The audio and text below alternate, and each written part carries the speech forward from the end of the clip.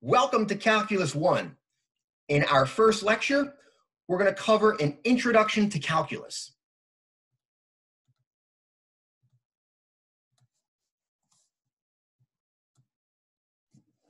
All right, so this is going to be our introduction. There will be uh, several course topics introduced within this intro.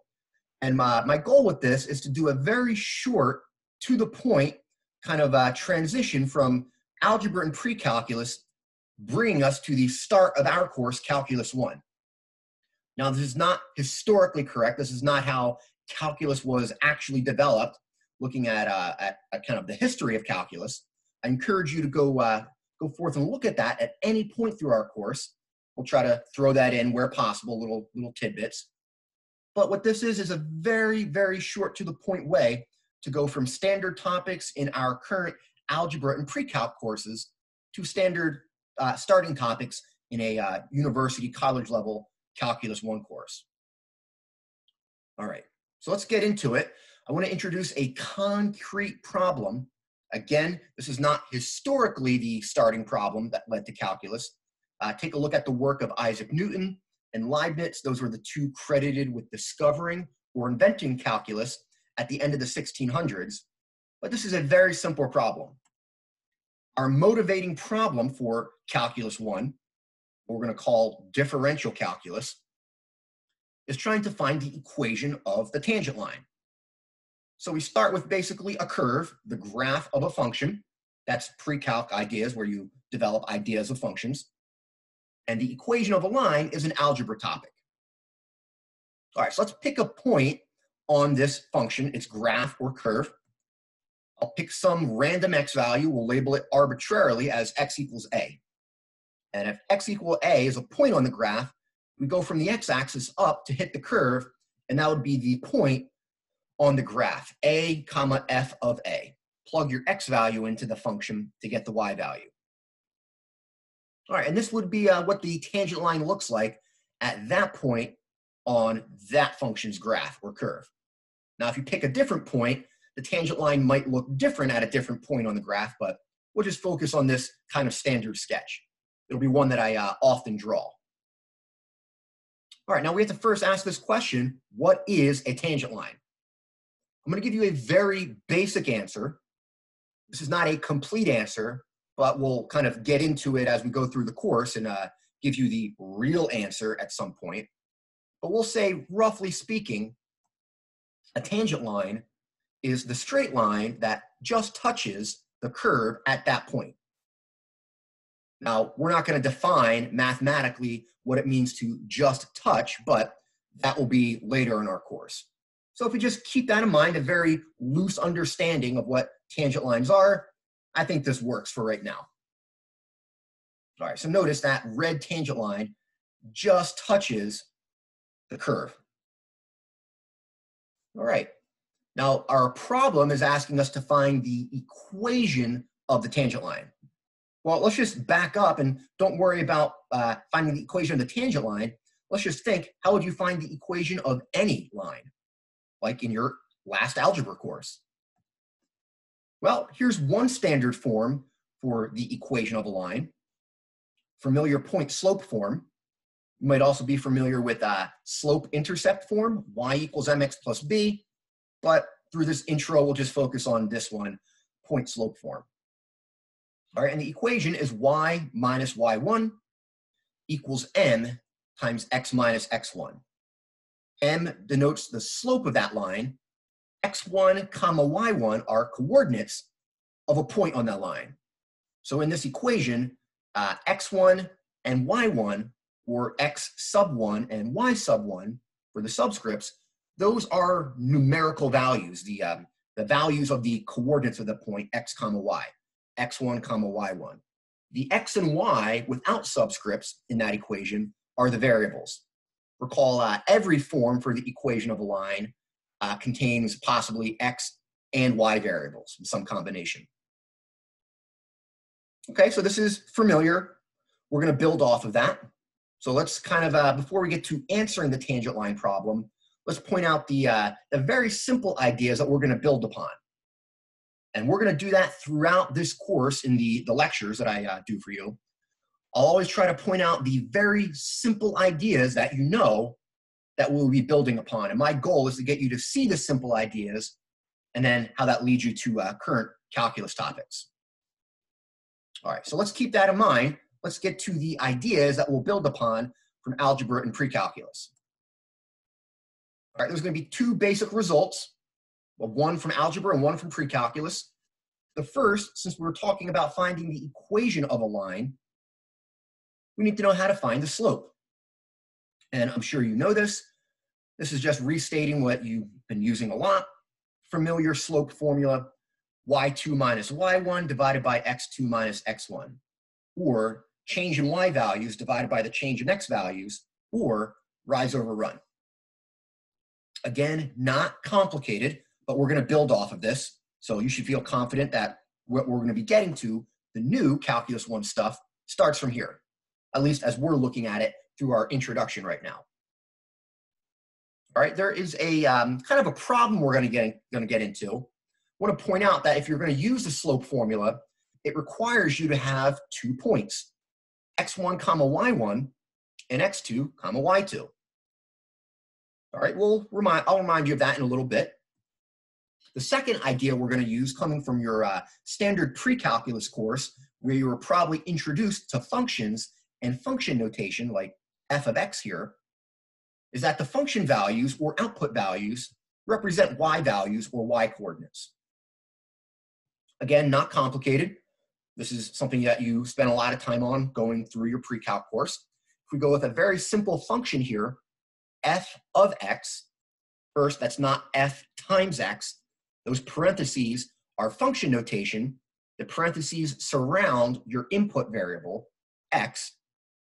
And here, the function f of x, we're defining it to be x squared plus 1. We're just, just using this as a concrete example. All right, so let's pick a random x value. Let's say we go with x equals 2. And if we plug that into the function, if the input value is 2, replace all x's with 2, we get the output value 5.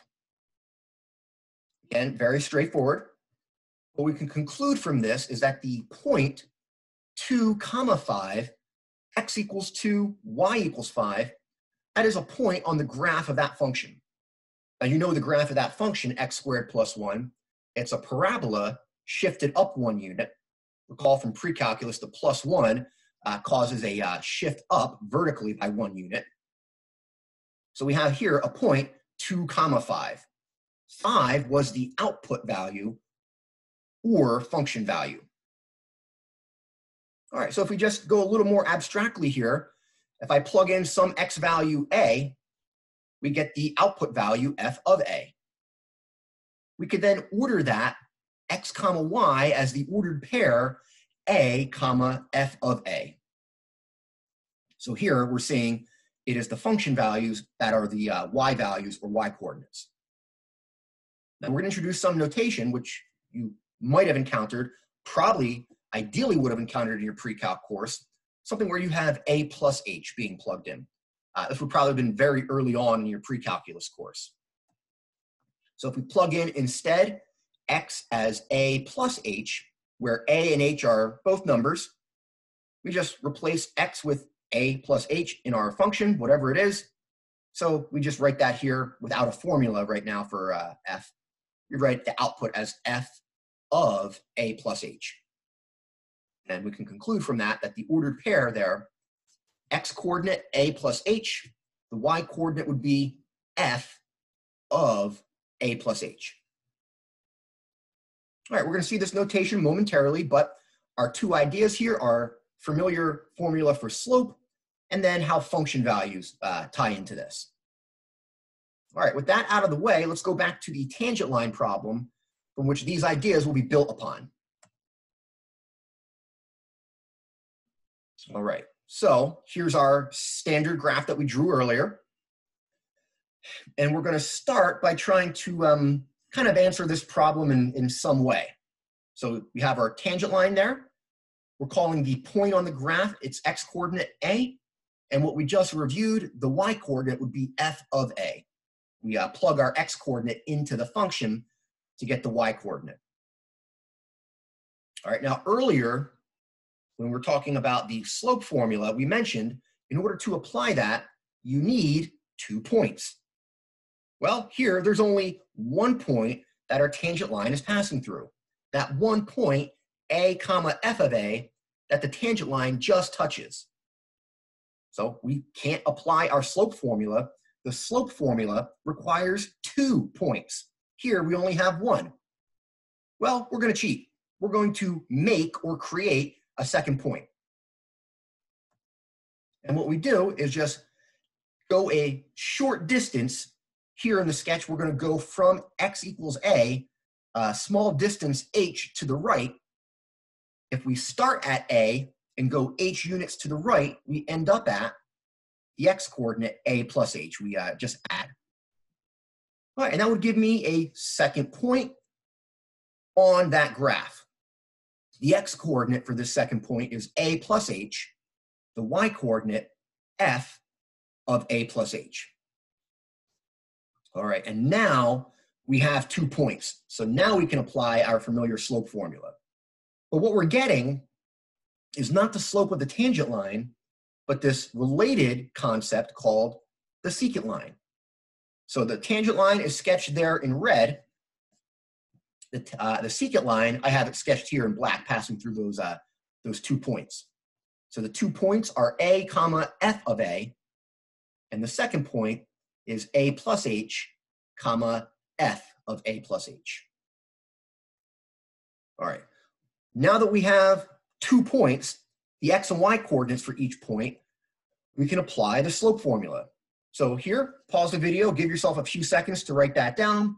It's straightforward provided you're comfortable with function notation.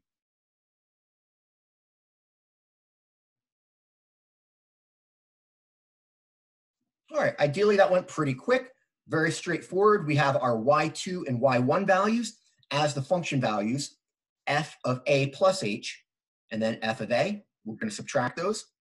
And then our x coordinates, x2 and x1, are a plus h and a, respectively. All right, so if we apply our familiar slope formula, y2 minus y1 divided by x2 minus x1, we get to here. Now I wanna make sure you realize what this is the slope of. Uh, this is the slope of the secant line. Our goal is to find the slope of the tangent line. So bear with me, we'll, we'll be getting to that. We're gonna use this result. Now, if we just take a look at this algebraic expression, can we do anything with it without knowing a formula for f? Well, we can only do one simple thing. Look in that denominator. The a's cancel out. They subtract out. a minus a is zero. So at best, without having a specific formula for the function f here, I, I just leave this written as f of a plus h minus f of a divided by h. In your pre-calculus course, this expression or quantity is called the difference quotient. And you likely calculated that through uh, a few questions early on in your pre-calculus course. All right, this quantity represents the slope of the secant line. How do we relate this to slope of the tangent line? Well, let's draw our sketch again. Here we have the points uh, kind of separated by a large distance. So notice the, uh, the coordinates uh, on the x-axis, x equals a and a plus h. There is a large distance between them. That distance between those uh, x coordinates we're calling h. All right, so our goal is to try to first uh, not worry about getting the exact slope for the tangent line. Here you can see the secant line and tangent line are kind of far apart. Can we do anything to make the secant line a little closer to the tangent line? Well, we can do one thing. We can let that second point get closer to the first. So notice if I just go backwards a little bit, here the two points are far apart. The secant line and tangent line are uh, kind of, you know, not close at all. But as that second point gets closer, the secant line starts to level out and approach the tangent line. All right, so the distance h between those x coordinates is now a little smaller. Well, let's keep going. let's make that distance between those two points a little closer. And you can see, if we go back kind of in quick succession, as those two points get closer, the secant line approaches the tangent line. Now something's happening to the uh, distance between the x coordinates. We're calling that h. Let's flip back again just so you can see it. Here's a large distance between them, so h is large. h gets smaller, h gets smaller again. So as that second point gets closer to the first, the distance between those x coordinates gets smaller. And as we continue that, h keeps getting smaller and smaller, approaching zero. And what we're introducing here is the central topic in calculus. Almost every idea in calculus and kind of mathematics, at least in the calculus sequence, is built off of something called a limit. And what we're going through here, doing kind of uh, successive calculations for uh, this familiar slope formula, as those two points get closer, that is the concept of a limit. Now, how do we make this precise?